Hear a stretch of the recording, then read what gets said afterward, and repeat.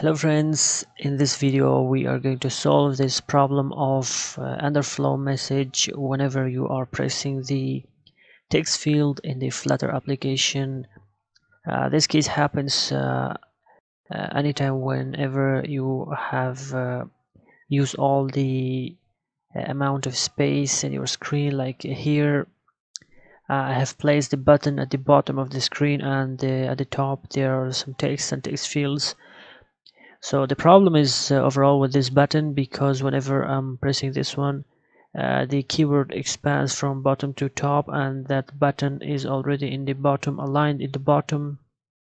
So it makes uh, the underflow message. In order to control this one uh, in some cases this can be solved with an expanded widget. You can uh, just wrap your uh, button or other all the childs into an expanded widget but here it didn't solve th that problem.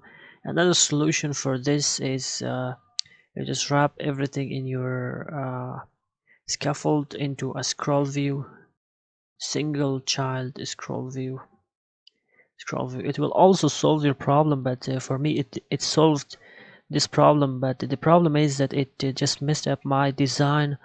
Uh, as you can see the button uh, was in the bottom but now it is in the center that I don't want that. Of course I can fix that uh, using other alignment but there's another simple fix for this one uh, which we will just control Z every changes. Uh, I will make it by default and this problem is still here but there's another quick uh, solve here in the scaffold which is here this one. Resize to avoid bottom inset.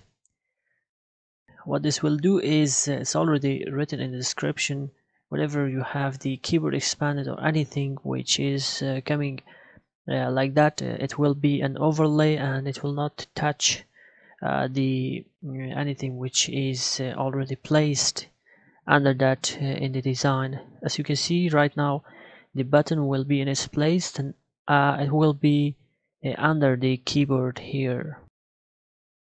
So for me this is a very good and useful fix for this problem and uh, yeah that's it uh, the today's video. Uh, if you like it don't forget to like and subscribe and i will see you in the next video. Thank you for watching